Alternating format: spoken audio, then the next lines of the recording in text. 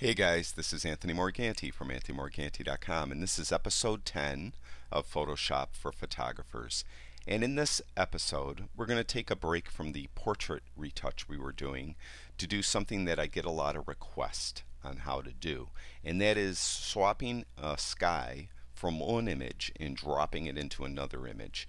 Now we kind of touched on this in previous episodes when we were doing layer masks and blending modes, but to tell you the truth, that isn't the most effective way to swap a sky. Those episodes were demonstrating how to use a layer mask and how different blending modes worked. Um, in this episode, I'm going to show you the most effective way to take an image, or take, I'm sorry, take a sky from an image and drop it into another image. And what I'm going to do, I'm going to start out in Lightroom because I get a lot of emails too where people ask me they don't know how to get their images from Lightroom into Photoshop. So I'm going to show you how to do that from the get-go right here. So what we have, we have these two images. I showed you this one. This is the one where we want a different sky in it. And this is an image here where I kind of like the sky. So I'm going to take the sky out of this image and I'm going to put it in this image. Now they're fully processed in Lightroom. I'm all done with Lightroom. And to get them over into Photoshop, what you do is you highlight both of them. Now I'm, if you look down here in the thumbnails at the bottom, I'm highlighted on the one with the pond. Now I'm just going to hold the Command key because I have a Mac. If you have a PC, it's the Control key, and click on the second one. You'll see they're both selected. Right click on any of them, either of the images, and you'll see this menu pops up. Go up to Edit In, and then at the very bottom, it's open as layers in Photoshop. Now, when I do this, I have a glitch in my recording software that um, it takes, you know, maybe 10 seconds on my machine to move them over into Photoshop, but it kind of skips, and that's the glitch on my recording software. So you'll see kind of a skip. I'm not going to talk after I do this because my voice will skip too. So I'm just going to click on Open as layers in Photoshop and then you'll see Photoshop open.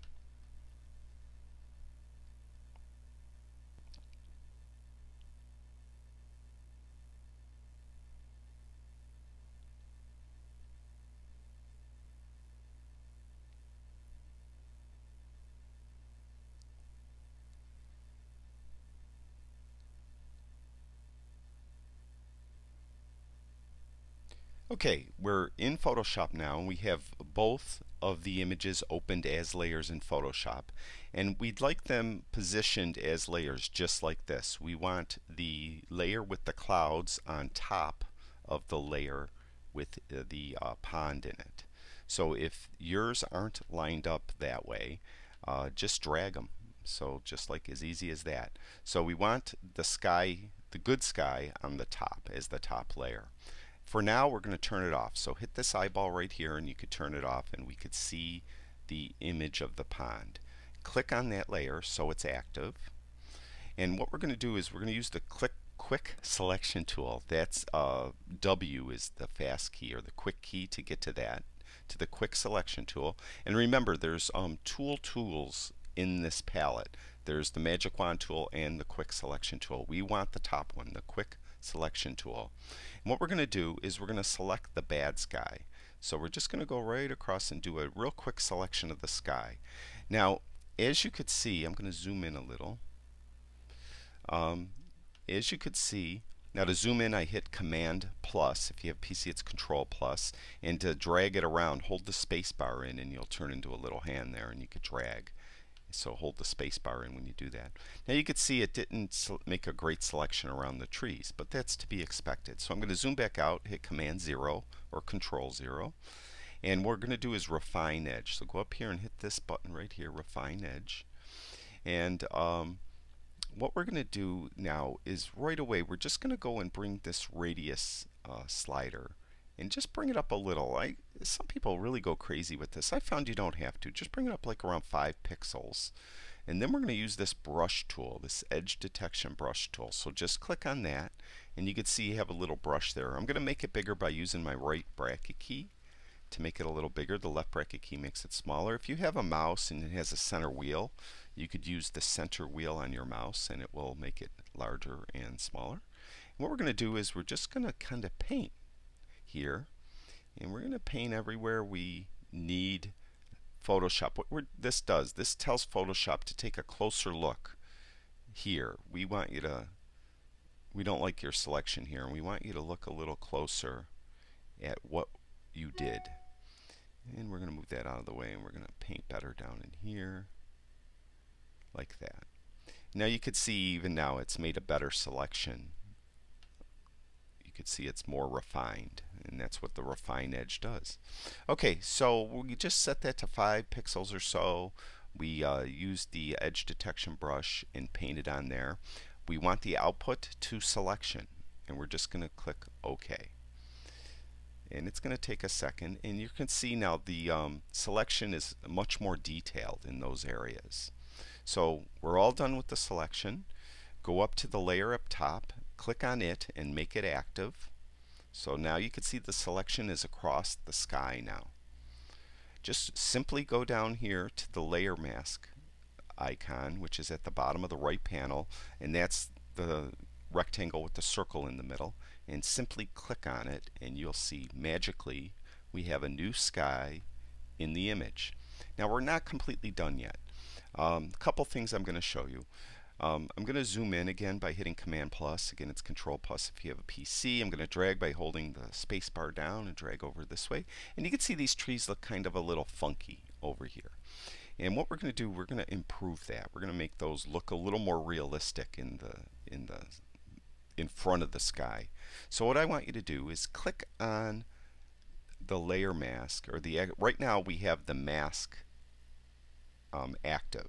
Just go over here and make the actual image active of the clouds. So we're clicked on the cloud layer. We're going to go down here where it says effects. We're going to, little menu will pop up and go to outer glow. Now when I do this it's going to look ridiculous, right? Outer glow and you can see it put this kind of weird outer glow on there. But that's okay. The blend mode is screen. We're going to change that to multiply, then watch it.